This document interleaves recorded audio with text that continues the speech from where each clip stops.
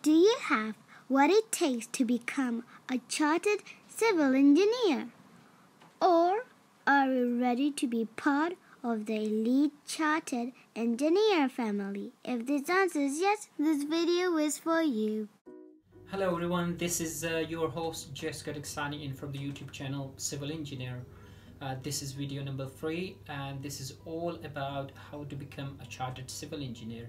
Is this something you've been dreaming for over the years? If the answer is no, sorry, this video is not for you. Ah, kidding.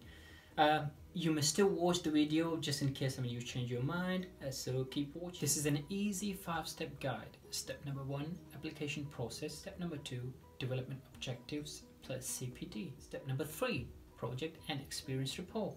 Step number four, CPR preparation. Step number five, CPR assessment day. And that's it. Please stay tuned in uh, for the next video where I'm going to go through all these uh, individual steps in, in comprehensive sort of details and hope uh, that will provide a lot more guidance. So stay tuned. If you haven't subscribed already, please do so so you don't miss uh, on the on the next videos. Uh, thanks for watching.